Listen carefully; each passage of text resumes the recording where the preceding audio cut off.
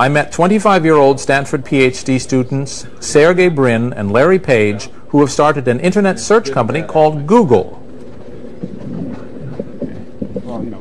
The company's right here in Larry and Sergey's room in the William Gates building at Stanford. The Google boys, as part of their PhDs, created a search engine, software that finds useful information on your behalf on the internet. It does what Yahoo or Excite do, but Larry and Sergey believed it did it much better and believed they could form a company based on it. We talked to a couple of different people. Um, like four people or something like that.